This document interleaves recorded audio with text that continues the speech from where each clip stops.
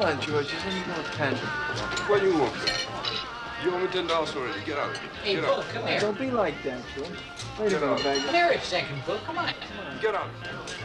I don't want to talk to you. What, Bagel? Did you lay down a bet with Barnett? Uh, I don't remember. Yeah, right. Nobody bets $2,000 and forgets, but...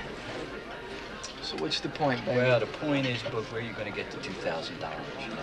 You haven't got a pot to piss in. Hey, look, the game's a lock. Nothing's a lock, Boog.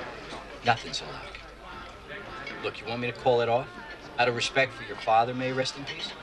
Look, leave my father out of it. Uh, listen, Bagel, just you should get in.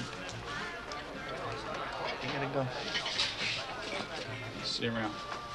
Kids, man. Very crazy. Nobody's interested in making an honest buck. I heard he's going to law school. Yeah, well, that's what I'm talking about. You call that an honest buck?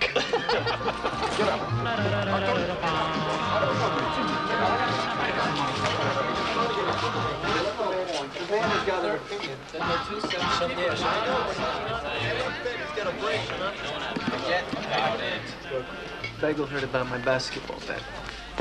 And I'm already down for 10 bucks. Oh, big spender. Come on. Hey, listen, Teddy. If you guys want in on this, I'm gonna tell you now there's shaving points in this game. You heard the shaving Yeah? points? How do you know? Look, I know this is no bullshit tip. How do you know? I heard about your tips before costing 50 bucks. How do you know? No way. No. What's your what, what's your resource? Don't get in.